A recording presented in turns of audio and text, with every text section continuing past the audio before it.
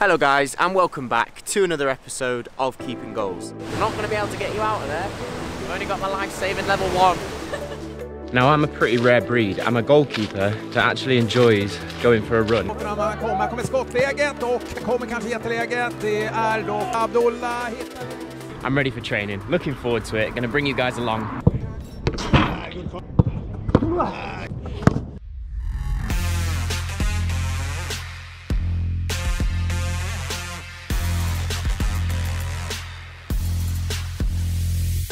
Hello guys and welcome back to another episode of Keeping Goals. If you're new here, my name's Conor O'Keefe. I'm a goalkeeper currently playing in Sweden and Keeping Goals is a vlog documenting my journey throughout football. We've got a slightly different setting for the beginning of this week's vlog because me and Frankie are here. We're in Storforsen, which is a natural reserve near to Piteå with some of the largest rapids in Scandinavia and we're going to come and have a look because this weekend we have a free weekend. So we're out, we're exploring. I can probably hear the rapids actually. You probably can hear the rapids. We have a free weekend because this week we played on Thursday. We had a game against Sollentuna at home and later on in this vlog I will show you the highlights, I'll show you how we got on. But right now we're going to go and find some rapids. I've got a feeling this is going to be pretty cool. Also, if you enjoyed today's video, please hit that like button. Really helps us out and if you haven't already, click subscribe and come and join the Keeping Goals Union.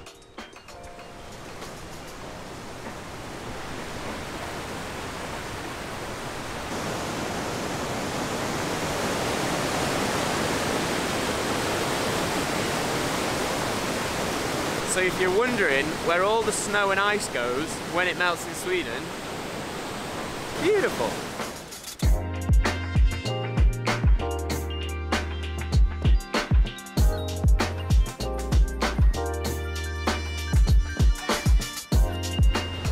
I didn't know if I was following you or not, so I was like, Yeah, come on.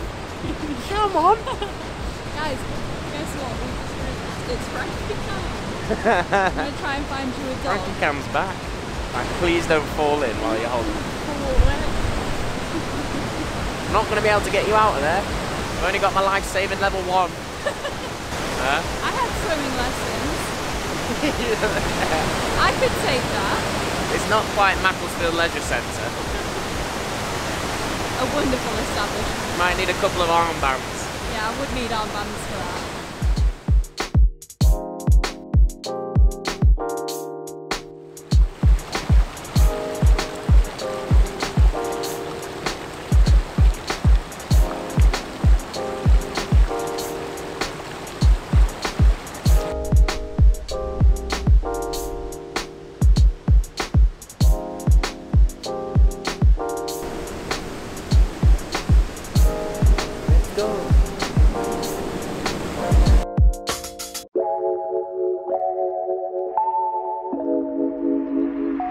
Good morning, everybody. Now, I'm a pretty rare breed. I'm a goalkeeper that actually enjoys going for a run. I know there's not many of us. Not a massive run, 5k, 10k. I quite enjoy it. Helps my body to feel in flow when I'm running well. However, I don't normally get the opportunity to go running very often because obviously with training and other things that I'm kind of working on, longer distance running isn't really a priority for me as a keeper. But seeing as we've got a weekend off, I thought I'd come out for a nice little Sunday morning run. It's a little bit cloudy, a little bit rainy, but that's perfect weather really. And it's nice to run by the water. This is one of the islands near Piteå. Loads of forests, loads of lakes, loads of rivers. Really nice place to just get your headphones on, just go for a run. So that's what I'm up to this morning. I also wanted to say, I didn't get the chance to film it yesterday because I was so consumed with it, but how good was Schmeichel in the FA Cup final? Wow, that save at the end, unbelievable. I've said it before, but Kasper Schmeichel, one of my favourite keepers to watch. Incredible goalkeeper. But alongside all the technical ability, physical ability, his mentality is just unreal. If you think about it, growing up, being told that your dad is the best goalkeeper of all time, and then you try and become a goalkeeper, and everyone just going, oh, you're Peter Schmeichel's son. And for him to develop into the keeper that he is, one of the best goalkeepers in the world, win the Premier League, win the FA Cup with Leicester, and consistently be one of the top keepers in the Premier League, incredible. So, big love for Kasper Schmeichel, and what a cup final. Who doesn't love a cup final? Anyway, on with the run.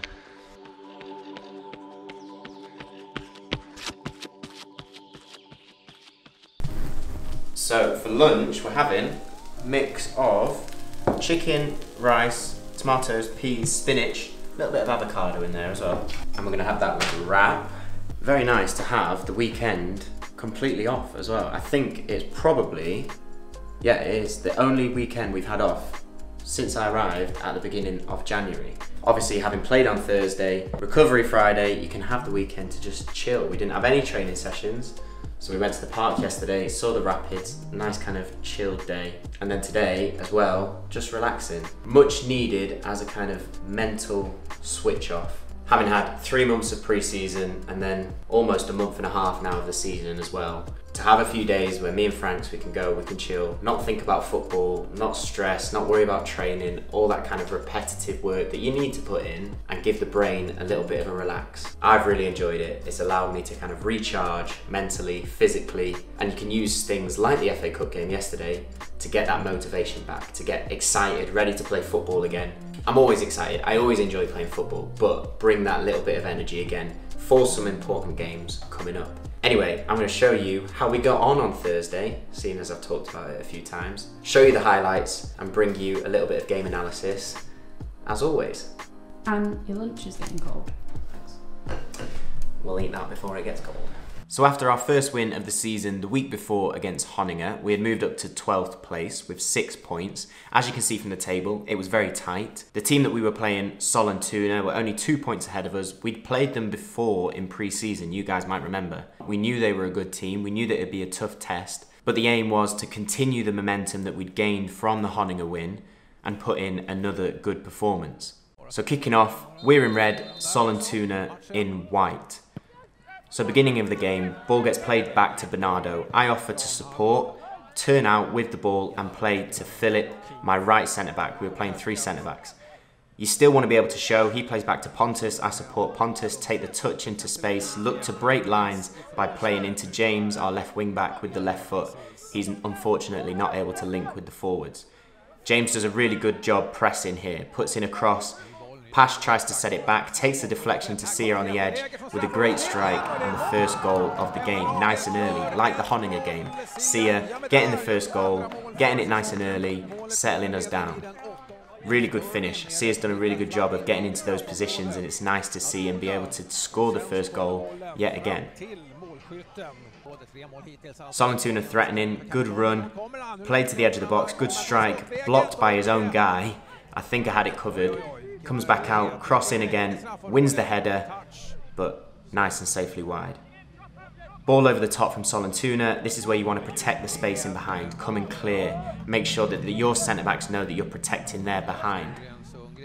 Cross in, picked up by Sollentuna again, played short, nice turn, cross across, draws both centre-backs. I have to come out, make the block save due to that space at the back post. Cross back in, Bernardo does a really good job in defending well, standing up, staying big, and showing the danger out of the box. Short corner, built up. Axel does a great job blocking the initial strike. Out to the edge of the box, puts in the cross. This is where you try and read it, come, claim, and collect. It was a nice cross for me to come and take. I could watch it all the way and judge it. Corner comes in, Freddie at the back post. Defender manages to see it behind. Subsequent corner again, Bernardo with the opportunity just over the bar, another really good chance. James with the ball on the left hand side, plays out to Pash. Pash does a really good job to put in the cross with his left foot. And Freddie, brilliant header, good save from the keeper. Good opportunity out of very little. Second half, build up down the left hand side for Sollentuna, gets to the byline, crosses it in. It was just too high for me to hold, so it drops down. Bernardo volleys it straight up in the air. I'm watching it, and that's a poor mistake to drop that ball. But when the ball is dropping directly on top of you, it's really difficult to deal with. Managed to save the follow-up shot and collect it, but a little bit messy to begin with the second half. Cross in, Pontus deflects it over the bar, fortunately, for a corner. Free kick, whipped in, important to hold it there. There was the threat of obviously the striker coming in, but held it well. Side volley into the strikers, It's a good distribution technique to use when you want to keep it flat and find the forwards. Break for Sollentuna again, through ball played, judge it, and then come and make the smother. Make sure that you judge the pace of the ball, and then when you make your decision, commit to it. Good ball from Pash out wide. Freddie, 1v1 with the defender, does really well to beat him, put in the cross, but the centre back does a good job to flick it away from Pash. Henke down the right, good cross in, hold up from Fred, set off to James, good strike, and a good save from their keeper does a really good job pushing it nice and wide. After their initial pressure at the beginning of the second half, Sollentuna were now kind of resorting to long range shots, shot from angles. We were starting to dominate a little bit more on the ball. Good ball from Henke over the top. Freddie does really well to beat the centre back to it. Through 1v1 with the keeper, pulled back by the centre half, and the referee makes the decision that it was the last man and sends him off. Again, at this point, you're thinking, right, can we capitalise on that opportunity? Straight from the edge of the box, well blocked by Sia, easy collection for me. Again, another side volley into Mo, into Pash. It's something that I've liked using to try and find the forwards quickly. Another good run from Mo, good cross, and a flick from Mackett, not quite on target. We were starting to dominate now, starting to create chances given that we had the extra man. Freddie with a really good pass. We robbed it really well in the middle. Great pass to Pash, good turn and good strike to make it 2-0 in the 85th minute. As you can see, he was pretty pleased with it. And we all were. After having a little bit of pressure, especially at the beginning of the second half, we did really well to get control of the game again. And that second goal really consolidated that. Straight away, another opportunity. Good run from Mo, good strike from Mackett, and a good save from the keeper. Nice free kick from Freddy. Great feet from Pash again. Manages to beat two. And a good save 1v1 from the keeper. Free kick into the box, header, easy save, but offside, so no worries there. Really nice ball from Mo over the top, great to see the space, and a good run from Pash. Does really well to flick it over the defender. James was screaming for it, laid it off well, and a nice side foot finish. 89th minute, third goal, and we were in control. It was probably what we deserved. We probably could have been scoring more goals given the amount of chances that we had but nice to be able to get three goals, to have a really good performance, and obviously for James to get another goal as well from left back, doing very well. I think he's on three already for the season.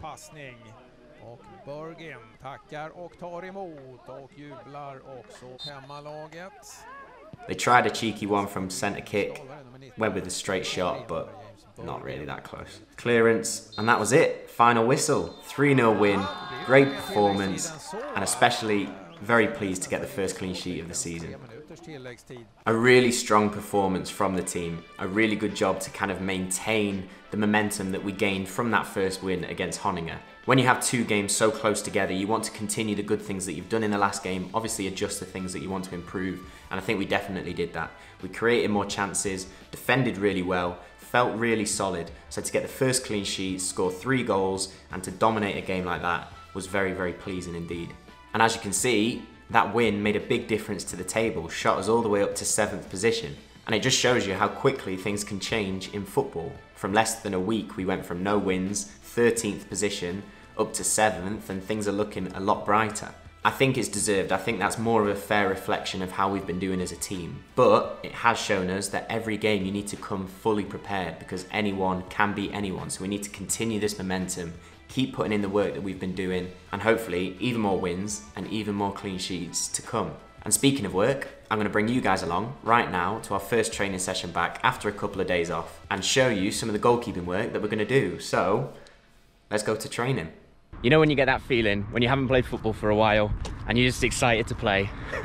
I'm ready for training, looking forward to it. Gonna bring you guys along, show you what we're working on with the goalkeeping. Let's enjoy it in the sun as well. Beautiful.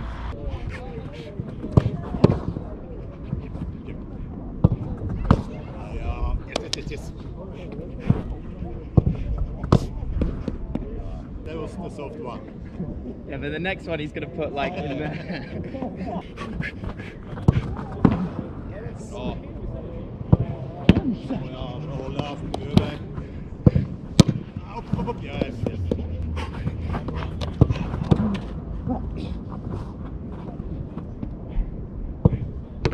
Good corner.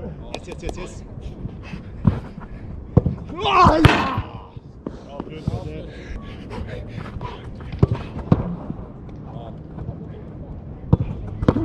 gut, Conor, jetzt, jetzt, jetzt, yes. jetzt. Ah ja, bra. Dip. Next. Good, control it. Out one. Yeah. Bra.